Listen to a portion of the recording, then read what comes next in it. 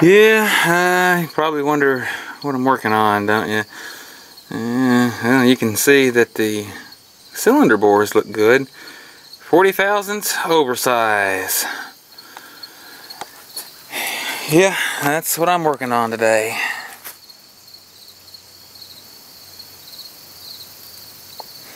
I drove it last night and I really wasn't too happy with how it ran. It still had a miss in it.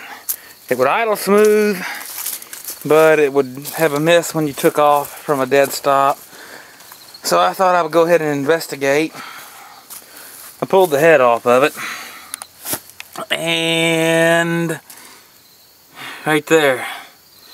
Uh, I don't know how well the camera will show it, but it's got a burnt valve. Well, yeah, it's a burnt valve. Uh, uh, right along there. Possibly around this other side too. But that is the problem. That's been the problem the whole time. I knew that it was getting where it wasn't running quite right. It had a bad idle to it for a long time. And then it just got to where it was just getting hard to start it would shake real hard.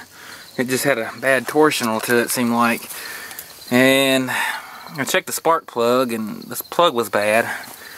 And I went ahead and tuned it up, and all that other stuff you saw me put on previously, that was all bad, which probably helped. Yeah, it's bad ignition components will cause this too, but the other cylinders look good. But that was the one that wasn't contributing. This is cylinder number six. I pulled the plug and grounded it yesterday and started, and the miss was in the same spot. So that was an indication that that was a miss right there. Uh, we'll go ahead and pull the valve out of it, and we'll have a look at it.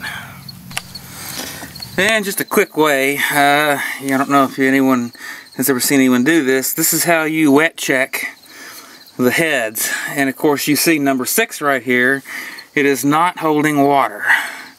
Let me fill it back up and you can watch it so you can actually watch it run down. And while these are still holding the same amount of water that you pour in.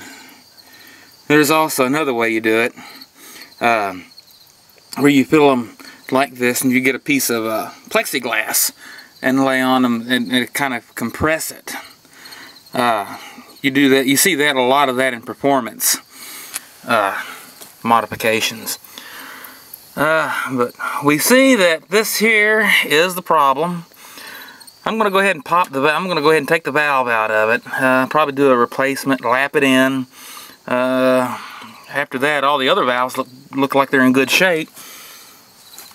Uh, the head gasket was in good shape. Uh, there's no evidence of leaks. It had sealed. Just perfect. This is a Fel-Pro gasket. And really all I need is a set of exhaust manifold gaskets and a head gasket. It's a dry intake. It doesn't need intake gaskets. It has a special pan that it uses. Uh, I'll get a set of carburetor gaskets and an oil change. After that, it should be good to go. It should be road ready again. Uh, it might be a little while before I get onto it, but anyways, thanks for watching. And you can see the valve seat. It's not bad. Uh, it just needs to be lapped. I think a new valve, I can lap it in. I think it should seal. I think it'll run again and be okay. And here's the old valve. Yeah, it's kind of rough. But it couldn't hold compression any longer. And I'm thinking, when I rebuilt these, I didn't put any guides or anything. I just replaced the seals and uh, lapped the valves.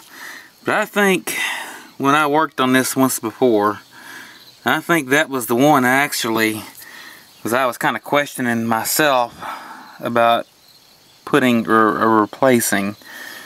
Uh, and I think I, I ended up keeping it anyway. But, anyways, it's going to have to have a new valve put in it.